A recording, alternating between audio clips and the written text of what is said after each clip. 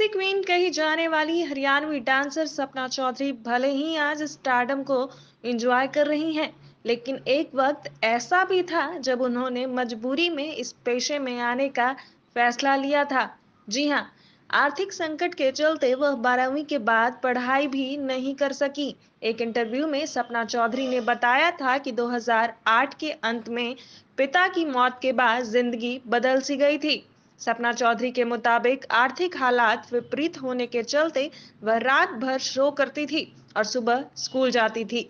सुबह स्कूल जाकर वो पढ़ने की बजाय कई बार वहाँ सो जाती थी। सपना चौधरी ने कहा कि स्कूल के मामले में उनकी माँ इतनी सख्त थी कि सुबह छह बजे भी सो से लौटने पर स्कूल जाने को कहती थी। उन्होंने कहा कि मैंने सिर्फ़ सातवीं क्लास तक ही रेगुलर पढ़ाई की थी, लेकिन उसके बाद नियमित जाना नहीं हो सका। यही नहीं, स्कूल के टीचर्स ने भी उनकी खूब हेल्प की थी। सपना चौधरी के मुताबिक उनकी नोटबुक्स भी लड़कों के पास रहती थी और वही उनका पूरा काम करते थे। कई बार तो वे लोग इस बात से चिढ़ भी जाते थे कि वह कभी स्कूल नहीं आती और काम हमें पूरा करना पड़ता है।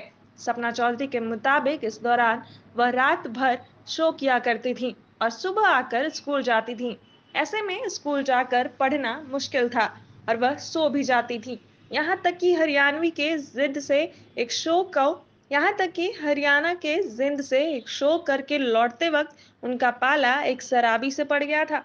सपना चौधरी ने उस वाक्य के बारे में बताते हुए कहा, मैं और माँ एक बार जिंद से शो करके आ रहे थे, बस पूरी तरह से खाली थे और मैं एक सीट पर सो गई थी, लेकिन पीछे से एक शराबी टॉफियाँ खाकर मेरे ऊपर फेंक रहा था। वह घंटों तक ऐसा करता रहा और फिर मैं इससे परेशान होकर उठ गई। मैंने माँ को भी यह बात नहीं बताई कि वह मुझे छेड़ रहा है, क्योंकि वह इससे विचलित हो जाती और कहती कि यह काम छोड़ दो। यदि वह डांस और सिंगिंग के पेशे में ना आती तो क्या करती? इस सवाल के जवाब में सपना चौधरी ने कहा कि मैंने मजबूरी में यह लाइन पकड़ी थी। उस दौरान उतने पैसे भी नहीं होते थे कि स्कूल की फ़ीस भी भर पाओ यदि मेरे पिता का निधन नहीं होता और हालात विपरीत न होते तो आईएस बनने के लिए ट्राई करती।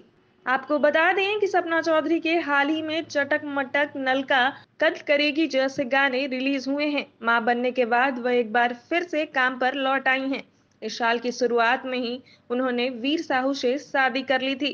अक्टूबर में उनके माँ बनने की खबर आने के साथ ही लोगों को उनकी शादी के बारे में पता चल गया था।